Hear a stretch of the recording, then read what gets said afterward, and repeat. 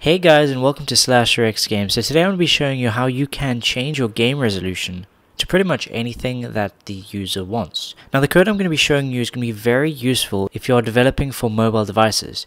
Now even though in this demo I'm going to be telling the application what resolution I want, I'll also be showing you two lines of code that you can use to grab the resolution from the actual device. So this is the end product of our demo. We have resolutions ranging from Full HD all the way down to 800 by 480, which is a very low res screen resolution for mobile devices.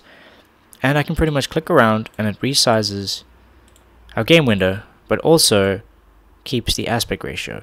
So you'll notice for a 16 by 9 resolution, which is the resolution I developed the game for, so that is the Full HD or 1280 by 720 here, as two examples, things are great. There's no letterboxing or otherwise black bars. But when we click to a resolution that isn't the same aspect, so we're looking at our 800 by 480 and our 1024 by 768, notice it creates the letterbox to retain our aspect ratio.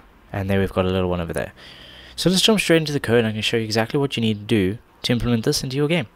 So to start things off, I've put some things together just to speed this up. We have a font, we have the buttons, which are just one sprite with various sub-images.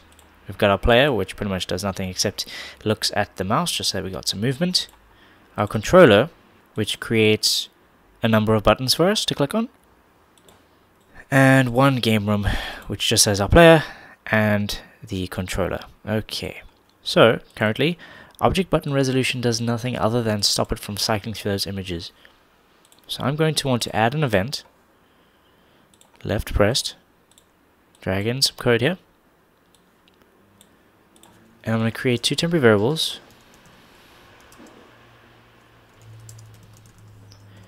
And to get the values of these variables, it's going to be depending on which button the user clicked. So each button image here is represented by a subimage. So full HD is going to be 0, 16 by 9 is going to be 1, and so on. 800 by 480 is going to be the last one, which is 6.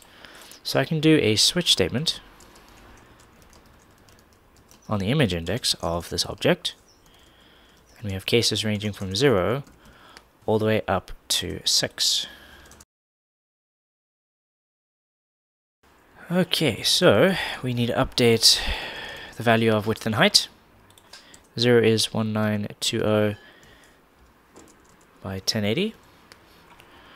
1 was 16 by 9.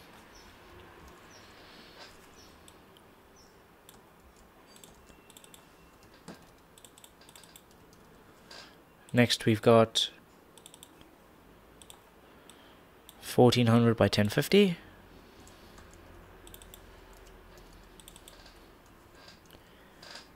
Then 1366 by 768.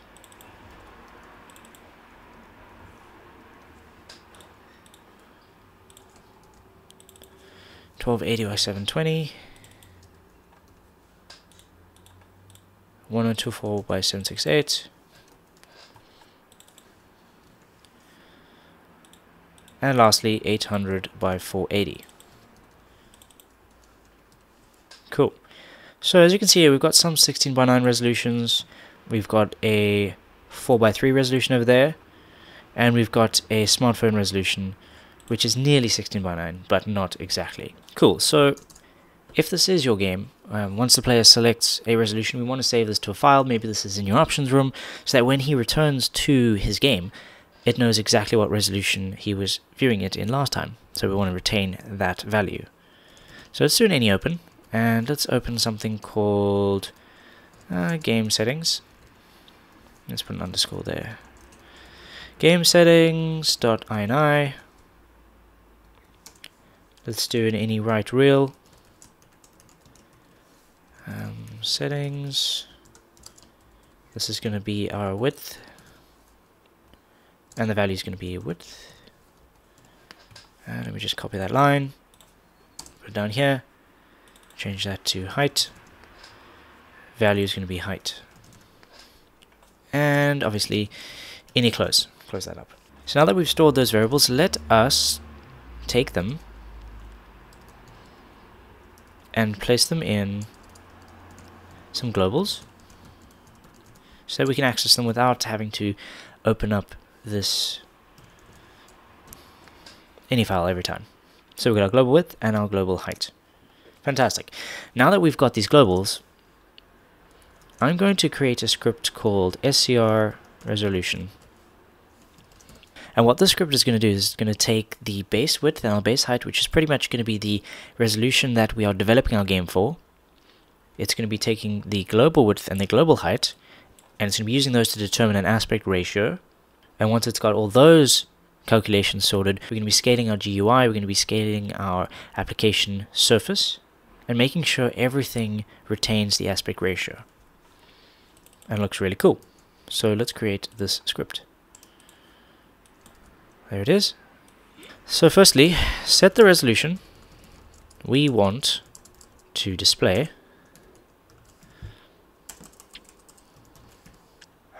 Or alternatively, how's about we get this value from the device? So that last part, that's to do with mobile devices. You don't know what resolution the user has on his smartphone. You still want the game to retain the aspect ratio and adjust its resolution to fit. So here I've got a number of variables.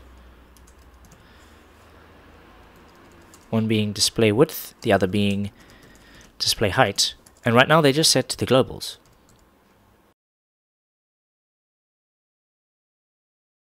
If you want to get these variables depending on the resolution the current user's smartphone is running, I want you to use the following functions. Display, get, width, and you're using display get height alright?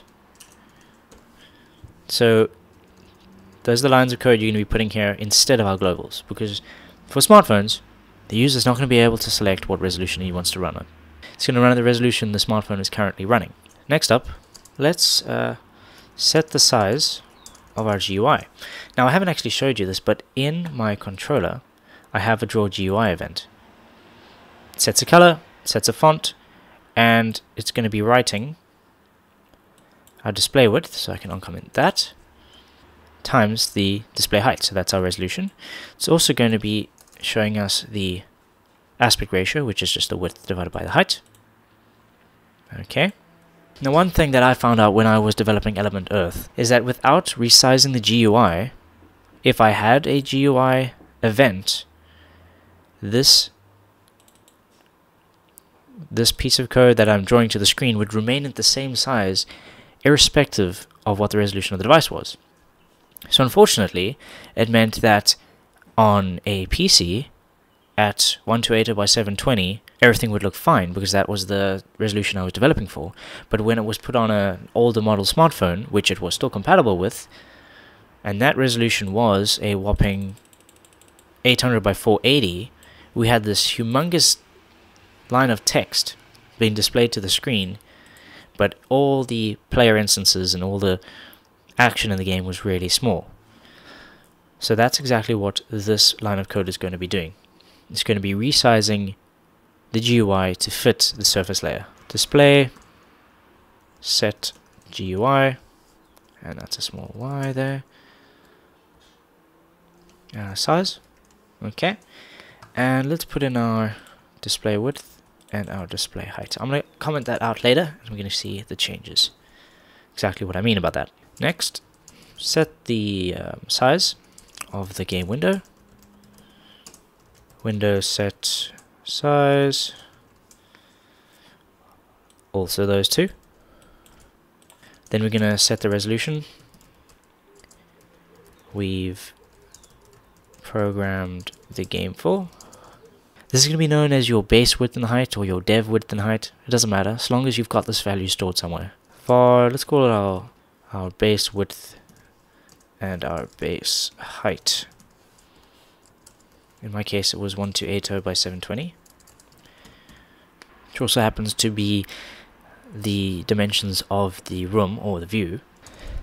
We need to determine the aspect ratio so var aspect equals base width divided by the base height. Then work out the adjusted height and width. So the following lines of code is going to be taking all this information and it's going to be determining where and how much of a letterbox we need to add to retain that aspect. So if the display width is greater than or equal to the display height, so that's more of a, a landscape orientation. Now we're going to create two temporary variables. One's going to be called height, the other one's going to be called width, which we haven't used yet. Yeah, that's fine. And the height is going to be the min of the base height and the display height. And the width is simply going to be our height times by our aspect. And just like that. Now, we need to resize the application surface to our adjusted values. And that's going to use surface resize. Oops. And that's going to take our which surface do we want to resize? Well our application surface that's pretty much where everything's being drawn to. And our new values which is our width and our height just like that so uh, it takes quite a bit of uh, a bit of this and that to work things out and that just goes down to a simple little one-liner but let me run through this one more time with you we're getting our display width and height. In our case, it was selected by the user, and those values were stored in these globals, global display width and global display height. If you're developing for mobile devices, use display get width and display get height. So if your phone is currently running at uh, 1280 by 720, that's what these values are going to be. If it's running an older, if you're running an older smartphone, maybe its maximum resolution is 800 by 480, you can still make your game look pretty cool on that older device and it will grab the 800 by 480 and shove them straight into our display width and our display height quite nicely. Then we are setting up the size of our GUI using those two values. We are setting up the size of the game window. We're grabbing our base width or our dev width and dev height. That's pretty much the resolution we've programmed the game for. So if you created your sprites for a 720p experience, that's what I've got here. If you created your sprites for a full HD experience, you're going to be putting in your full HD width and height right over here, just so that things are scaled properly. Then we're going to determine our aspect ratio using the base width and base height. So that's the aspect ratio that we developed for. We're going to work out the adjusted height and width based on those values. And once we have a final height and a final width, we are going to be resizing our application surface. So that's pretty straightforward stuff now that we've got all that sorted, I actually also want to jump into room options in our create code here. And I actually want to open up that ini file we saved to earlier. I want to set our global display width and global display height to the values we stored in that ini file and then run script resolution on that so the ini file, let's see, what was it called? Save all those. Here we go. Let's put this on the side. That's what it was called. Oh goodness, I'm losing my code. There it is.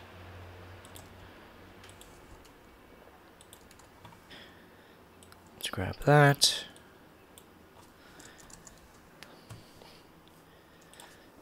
Ini read real.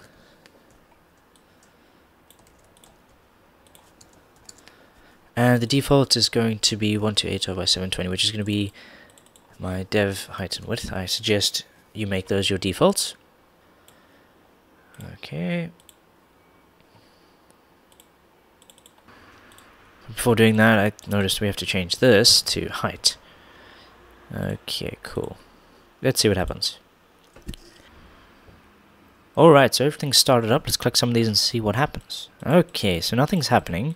Maybe we have some variables that are called the same things. Maybe we're not setting or saving things right. Let's head back into our click code in this button. Oh, I think I see the problem. Our resolution is grabbing the global display width and global display height, but these ones are called global dot width and global dot height. Let's update those.